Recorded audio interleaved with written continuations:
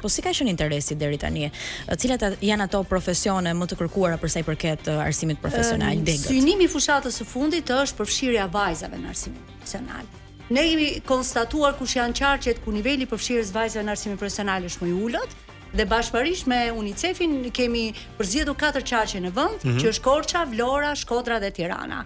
dhe jemi fokusuar kryesisht në këto qarqe dhe në në drejtimet profesionale ku janë më atipike, qoftë për vajzat apo dhe për djemt, si për shembull mm -hmm. hyjet, ndërtimi, mm -hmm. elektroteknika për vajzat apo për djemt tekstili, konfeksionet, veshjet, Sepse mendohen si profesione. Në, po, zhargonin e përditshëm nuk i dukeni si profesione të përshtatshme për për këto gjini. Un kam patur rastin që të shikoj për shembull shkolla të mrekullueshme të arsimit e formimit profesional. Fjala vjen në Lezhë për shembull ku uh, ke një traditë tani kulinare shumë të mirë për restorantet, për gatimet, për uh, për shërbimin në hoteleri apo turizëm hoteleri le të them deri po, këtu. Po, kam parë shkolla e Golemit është mjaft e mirë, qendra e formimit profesional në në Korçë është mjaft e mirë pra. Në Shkodër, në Vlorë. Po edhe këto janë të pa, Shkodra ka një mm -hmm. një super shkollë gjithashtu, pra janë të pajisura mirë, janë shkolla moderne, janë shkolla që kanë kompjutera, teknologjinë, pra ti i, i mëson gjërat duke i bërë ato, pa, po, sepse pa. Po. ti je si të thuash duke punuar, duke mësuar në një farë mënyrë edhe Kjo është ideja, se duhet të nxjerrte kjo fjali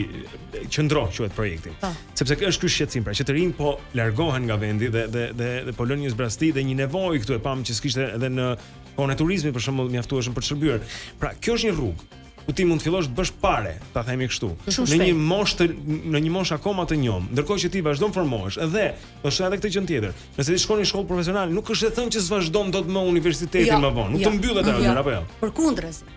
Përkundrazi, kjo, këto janë të mirat e arsimit profesional që jemi munduar gjatë gjithë fushatave tona t'i promovojmë. E para, ti në një kohë shumë të hershme, që, që në vit të dytë, nëpërmjet praktikave profesionale në biznes, ke mundësi të njohësh botën e punës. Mm -hmm. Ke mundësi të njohësh nëse profesioni që ti ke zgjedhur është i duhuri, se ne shpesh bëjmë 5 vite shkollë dhe nuk e dimë ku jemi. Që jo, ne kjo nuk mhm. ishte ajo që doje. Ose rëndom të ndodh që në universitete ne nuk bëjmë dot praktikën, ne nuk bëjmë praktikë dhe kur shkojmë në punë jemi out. Prandaj tha Blendi që ti në shkollë profesionale mëson për të bërë. Që në vit të dytë fillon praktikën profesionale. Dhe ne nga gjurmimi i fundit që kemi bërë, 57.5% të gjithë nxënësve që janë të punësuar, janë punësuar gjatë kohës së shkollës. Qartë. Pra, pa mbaruar shkollën, ato kanë arritur të punësohen. Sepse kërkesa është e lartë. Dhe pikërisht